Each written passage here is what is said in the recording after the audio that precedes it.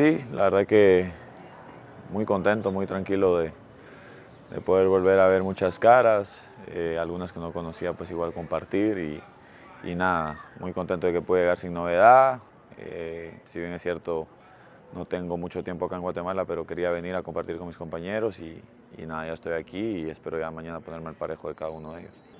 Mira, yo siento que más allá de que no se pueda ni siquiera empatar, no, no quita ni pone un poquito más de compromiso, como lo estás diciendo. Creo que eso es una situación, aquí se vive al tope. Siempre cuando te ponen la camiseta de la selección, cuando todo el mundo tiene mucha ilusión, porque pasan los años, igual la gente te sigue apoyando, pasan los años, igual la gente sigue teniendo la misma ilusión y nosotros con mucha responsabilidad afrontarlo, ¿no? también con responsabilidad y, y con personalidad para poder sacar esto adelante.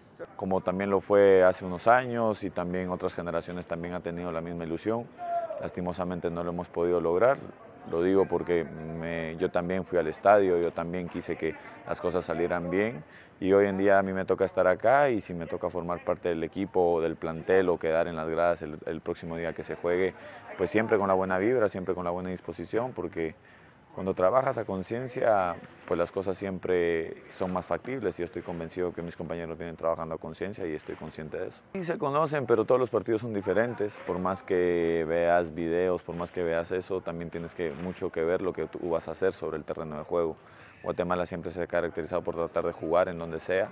Obviamente ya le queda eso al cuerpo técnico para que ellos elijan el plan de juego que el, el 11 tenga que elaborar dentro del terreno de juego.